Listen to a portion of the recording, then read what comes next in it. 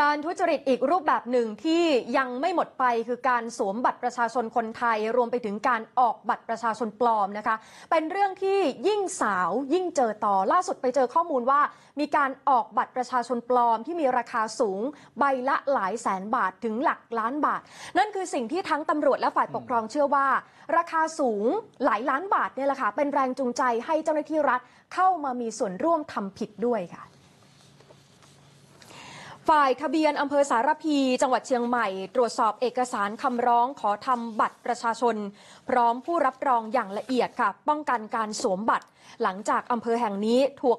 ถูกตรวจสอบพบว่าทำบัตรประชาชนให้ต่างชาติ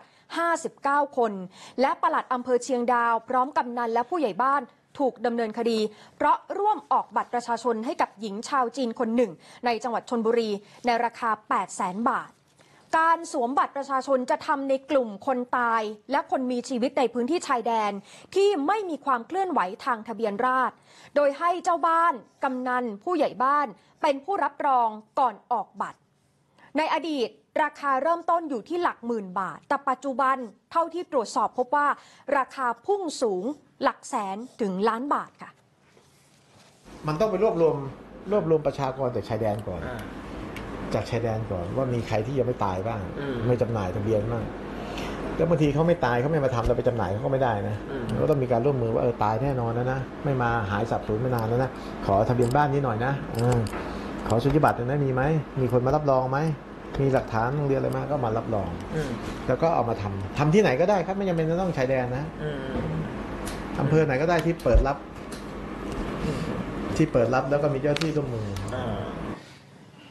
จากการเก็บข้อมูลของมูลนิธิเครือข่าย สถานะบุคคลกว่า 20 ปี พบการกระทำผิดใน 2 ลักษณะนะครับ ก็คือการสวมสิทธิ์คนที่ไม่มีใบแจ้งเกิด หรือไม่ได้ทำบัตรประชาชน หรืออีกแบบหนึ่งก็คือการสวมสิทธิ์คนตายครับ วิธีนี้จะเอาชื่อไปสวมแทนคนตายที่ไม่ได้แจ้งตาย ส่วนผู้ร่วมขบวนการนั้น ไล่ตั้งแต่นายหน้า เจ้าบ้าน ผู้นำหมู่บ้าน แล้วก็มีเจ้าหน้าที่รัฐผู้ที่มีอำนาจในการออกบัตรเข้าไปมีส่วนร่วมครับผมว่าบัตรหัวศูนย์เนี่ยบางที่นี่หลักแสนแล้วอืมราคามันขึ้นอืมนะครับบัตรทำบัตรเลขศูนย์นี่นะจริง ๆ ถามว่ามีคุณสมบัติทำได้ไหมทำได้ไม่ต้องเสียตังค์สักบาทอืมแต่ปัญหาที่เสียเพราะไม่มีคุณสมบัติก็อยากได้ไงครับ อ่าก็ก็อันนี้คือสถานการณ์นี้ มากกว่านั้นที่โผล่นะวันนี้ก็คือกลุ่มทุนจีนเอออันนี้มาหนักเลย ไม่ใช่แค่เอาบัตรเลขศูนย์ไม่ใช่แค่เอาบัตรเลขหกเอาสัญชาติไทยเลยออเล่นสวมเลย แบบนี้ผมว่ามันมีพยานหลักฐานชัดนะครับ ต้องเค้นให้ตาย ต้องเอาให้ได้ ถ้าไม่อย่างนั้นมันก็จะย่ามใจ มันก็จะเป็นกระบวนการแบบนี้นะครับนายสุมิตรชัย หัตถสารนักกฎหมายด้านสิทธิมนุษยชน บอกว่าการขอทำบัตรประชาชนมีขั้นตอนตรวจสอบข้อมูล ตรวจ DNA แต่ก็มีช่องโหว่ครับที่ให้โอกาสเจ้าหน้าที่ไปทุจริต เพราะฝ่ายปกครองนั้นมีอำนาจผูกขาดในการกำหนดสถานะบุคคล หรือการออกบัตรประชาชน โดยไม่มีหน่วยงานอื่นเข้าไปตรวจสอบ ช่องว่างของมันคือว่าอำนาจในการอนุมัติอนุญาตเนี่ยมันผูกขาดอยู่กับตัวโครงสร้างของฝ่ายปกครองฝ่ายเดียว องค์กรอื่นไม่ได้มีโอกาสเข้าไปตรวจสอบถูกไหมฮะมันอาจจะมีองค์กรภาคประชาสังคมหรือ NGO บ้าง เข้าไปตรวจสอบแต่จริงๆแล้วส่วนใหญ่ก็เข้าไม่ถึงข้อมูลหรอกนะครับเพราะมันเป็นข้อมูลของราชการที่เขาก็จะอ่าไม่เปิดเผยนะครับมันก็เลยทำให้มีช่องว่างก็คือ พูดง่ายๆคือสายตาคนอื่น ๆ ที่จะเข้าไปตรวจสอบด้วยเนี่ยมันมีน้อย มันก็เลยเกิดช่องว่างทำให้เกิดการที่เจ้าที่หรือว่าหน่วยงานอาจจะใช้อำนาจโดย โดยไม่ชอบหรือใช้อำนาจไปในทางที่มันไม่ถูกต้อง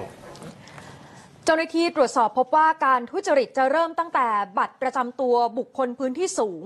ที่ขึ้นต้นด้วยเลขศูนย์ค่าจ้างหลักหมื่นถึงหลักแสนบาท ส่วนบัตรประชาชนทั่วไปสูง บาดีละหลายแสนบาทจนถึงหลักล้านบาทนะคะ ค่าจ้างที่สูงแบบนี้จึงไปพบเจ้าหน้าที่รัฐหลายพื้นที่เข้ามามีส่วนเกี่ยวข้อง อย่างที่อำเภอเวียงแก่นจังหวัดเชียงรายพบกว่า 200 คนอำเภอสารพีจังหวัดเชียงใหม่พบ 59 คน และอำเภอเชียงดาวจังหวัดเชียงใหม่ก็พบด้วยส่วนหนึ่งค่ะ